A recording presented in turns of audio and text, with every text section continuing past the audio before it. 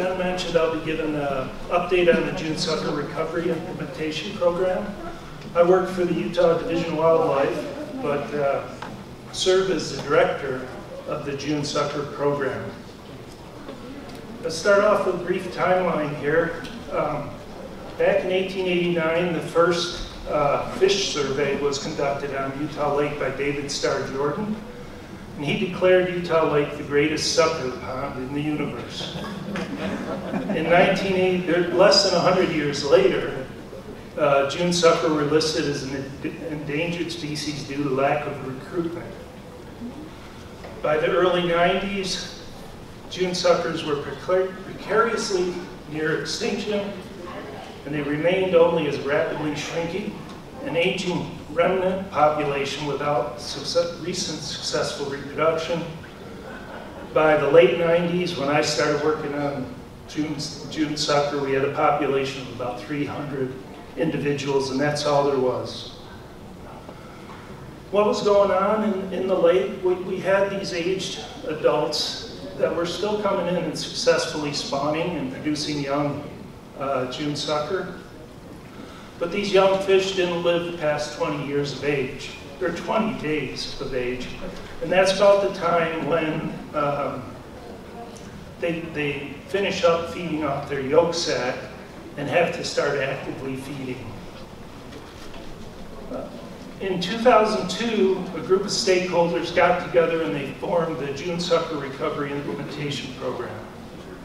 The program had two goals. One, to recover June suckers so that it no longer needed the protection of the Endangered Species Act. And the other was to allow for continued operation of existing water facilities and uh, future development of water resources for human use. The important point here is that the, the program, as long as it is making sufficient progress towards recovery, serves as the Endangered Species Act compliance for water development in the drainage. So to, the species was threatened with imminent extinction, and we did some triage. Uh, we collected some of these old individuals. These fish were 40 years old, coming into spawn. We, we collected them on the banks of the Provo River, artificially spawned them, and raised some fish in our hatchery system.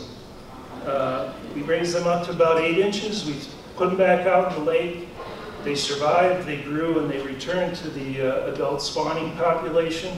So we averted the extinction early on in the program. But we still had this uh, bottleneck in this early life stage of uh, the fish. And uh, the program operates on the best available science and makes their decisions based on that. But we didn't have a lot of science pertaining to Utah Lake or to uh, the June sucker. So we're really heavy into the research in the early stages of the program. One of the first things we did to, um, to benefit this early life stage was develop some flow targets and start acquiring water for the lower Provo River. Uh, we developed these flow targets. They're ecosystem based and they're based on the natural hydrology of the Provo River. And they're also uh, adaptable for, for different conditions for a given water year. We also started looking at developing habitat for these young fish. The tributaries coming into Utah Lake had all been channelized to allow uh, for water delivery and reduce flood impacts.